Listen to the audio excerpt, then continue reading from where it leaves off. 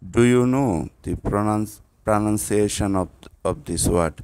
S A L M O N. This is called salmon.